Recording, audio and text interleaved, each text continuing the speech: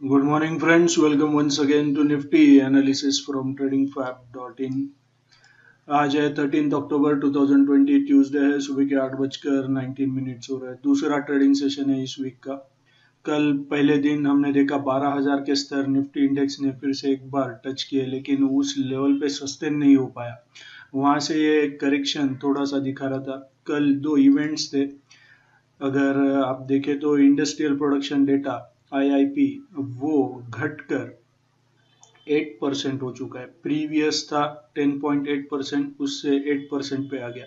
और inflation rate वो भी बढ़ गया है 7.34 परसेंट और प्रीवियस था 6.69 परसेंट तो ये मार्केट के लिए कल थोड़े से दिक्कत भरे साबित हुए और मार्केट ने एक छोटा सा करेक्शन दिखाया। अभी निफ्टी इंडेक्स में क्या पैटर्न बन रहा है उसको आइडेंटिफाई करेंगे।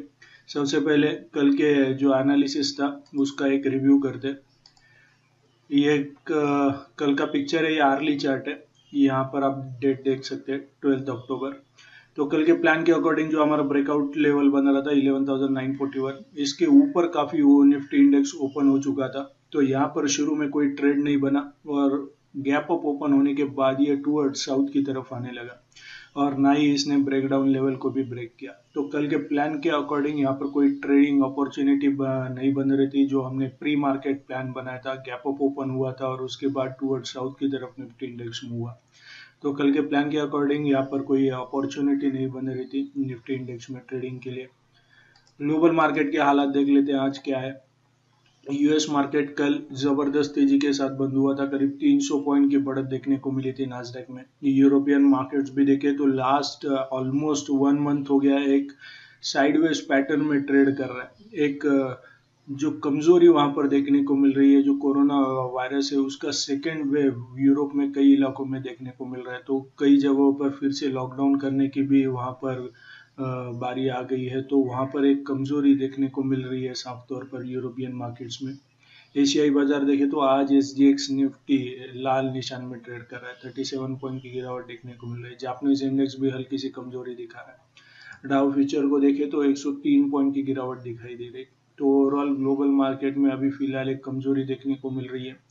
क्या ये करेक्शन और गहराएगा या फिर करेक्शन एक नेसेसरी है इतना ऊपर निफ्टी इंडेक्स आने के बाद एक करेक्शन बनना लाजमी होता है? तो क्या ये थोड़ा पीछे हट के एक ज़बरदस्त बाउंस बैक दिखाएगा? कहाँ पर सपोर्ट के लेवल्स आ रहे हैं उसको आइडेंटिफाई करेंगे। सबसे पहले वीकली चार्ट को देखते हैं। वीकली चार्ट को ये हमने फिबोनाची एक्सटेंशन टूल को यूज़ करके ये लेवल्स प्रोजेक्ट किए थे। अगर आप हमें कई दिनों से फॉलो कर रहे हैं तो आपको ये शायद पता होगा। कल भी exact eleven thousand nine thirty के पास आके ये क्लोज हुआ है। तो इस लेवल के पास अगर निफ्टी इंडेक्स हर्डल फेस करता है तो यहाँ से ये अगर टूअर्ड साउथ की तरफ़ मूव करता है तो फ़र्स्ट इमीडिएट सपोर्ट होगा। यहाँ से ये जो स्विंग हाई बना है इसका हाई 11,800 के पास है। ये फ़र्स्ट इमीडिएट यहाँ पर हो सकता है रेजिस्टेंस का सपोर्ट का काम करे और यहाँ से फिर बाउंस बैक हो। अगर 11,800 ब्रेक होता है तो ही यहाँ से ये करेक्शन और गहरा सकता है टूवर्ड साउथ की तरफ़। तो 11,800 का मेजर सपोर्ट है। डेली चार्ट पर चलते हैं। डेली चार्ट पर अगर देखें तो यहाँ पर एक पैटर्न बन सकता है स्पिनिंग टॉप जैसा। अगर ये कैंडल को अगर आप कुछ पास्ट में जाकर देखें, कैसे ये फॉर्म हुआ था और उसके बाद क्या मूवमेंट निफ्टी इंडेक्स में देखने को मिली थी तो आप ये देख सकते हैं, ये स्पिनिंग टॉप जैसा सिग्नल है कंफर्मेशन नहीं है। ये ऐसा कैंडल यहाँ पर बना था, उसके बाद रेड कैंडल और फिर एक करेक्शन अगर और थोड़ा पीछे जाए तो यहाँ पर एक स्पिनिंग टॉप जैसा कैंडल बना था, फिर एक छोटा करेक्शन आया था। और थोड़ा पीछे जाकर देखें हम तो ये स्पिनिंग टॉप जैसा कैंडल है और उसके बाद ये रेड कैंडल तो ये स्पिनिंग टॉप जैसा कैंडल स्टिक यहाँ पर बन सकता है। अगर ऐसा कैंडल बनने के बाद एक रेड कैंडल आता है और इस कैंडल का लो अगर ब्रेक होता है तो नीचे की तरफ़ कहाँ सपोर्ट होगा? इसके लिए हम फिबोनाची रिट्रेसमेंट टूल को यूज़ कर सकते हैं। तो ये जो अपसाइड मूव आया है हाई और लो को पकड़ के ये टूल को यूज़ किया है और 11,731 के पास 23.6 परसेंट का लेवल आ रहा है। तो 8000 अगर ब्रेक होता है तो यहाँ पर 750 के पास निफ्टी इंडेक्स पेनेट्रेट होता हुआ दिखाई दे सकता है। तो seven eleven thousand seven fifty to eleven thousand eight hundred support होगा और निफ्टी इंडेक्स ट्वेल्व थाउज़ेंड के ऊपर सस्टेन करता है तो निफ्टी में 12,300 के लेवल्स हमें देखने को मिल सकते हैं। तो ये था निफ्टी इंडेक्स का डेली और वीकली चार्ट का सिनारियो अभी कल भी जैसे हमने यहाँ पर डाइवर्जेंस देखे थे आर एस आई वर्सेस ये प्राइस एक्शन तो ऊपर आप देख सकते हैं price action higher highs create कर रहा है। लेकिन आर एस आई में यहाँ पर देख सकते हैं आप ये लोअर हाइस क्रिएट कर रहा है। तो ये क्लियर कट डाइवर्जन है।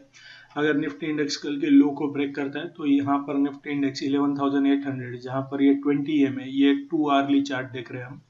यहाँ पर 11,800 के पास ये 20 एम आ रहा है। तो जैसे कि हमने वीकली चार्ट में भी देखा जो स्विंग हाई बना था लास्ट का यहाँ पर आप ये 11,800 के पास ये स्विंग हाई बना था और यहाँ से ये एक करेक्शन दिखा रहा था। तो 11,800 मेजर सपोर्ट है ये ब्रेक होता है तो और भी निफ्टी में करेक्शन गहराता हुआ नज़र आ सकता है। आज के लिए इंट्राडे लेवल्स क्या हो सकते हैं? निफ्टी इंडेक्स अगर ये जो कल का सपोर्ट जहाँ पर निफ्टी इंडेक्स आकर ये क्लोज हुआ था जिसके लेवल के नीचे ये क्लोज नहीं हो पा रहा आर्ली चार्ट में आप देख सकते हैं उसके पहले दिन, यानी फ्राइडे को भी इस लेवल के पास ये रेजिस्टेंस फेस कर रहा था, कल ये सपोर्ट फेस कर रहा है। तो अगर ये eleven thousand nine zero nine के लेवल के नीचे चला जाता है कंफर्टेबली सस्टेन करता है तो ये इंट्राडे के लिए हम यहाँ पर बाय पोजिशन बना सकते हैं। और तभी हमारा फ़र्स्ट टारगेट होगा। Eleven thousand double eight seven ये हमारा फ़र्स्ट टारगेट होगा, और सेकेंड टारगेट होगा। 11,861 ये हमारा सेकेंड टारगेट होगा। और निफ्टी इंडेक्स कल का ये जो रेजिस्टेंस का लेवल बन रहा है यानी 11,977 इस लेवल के ऊपर क्लोज नहीं हो पा रहा था आर्ली चार्ट में ये हमारा ब्रेकआउट लेवल हो सकता है। और इसके ऊपर अगर सस्टेन करता है तो ये हम इंट्राडे के लिए बाय पोजीशन बना सकते हैं। और तभी हमारा एक छोटा सा क्विकली टारगेट होगा 11,996 ये हमारा फ़र्स्ट टारगेट होगा और सेकेंड टारगेट होगा 12,021 ये हमारा सेकेंड टारगेट होगा। तो ये आज के लिए निफ्टी के इंट्राडे लेवल्स, अगर आपको ये वीडियो एनालिसिस अच्छा लगा हो तो लाइक शेयर कमेंट ज़रूर करें और सब्सक्राइब करना ना भूलें। So thank you very much and happy day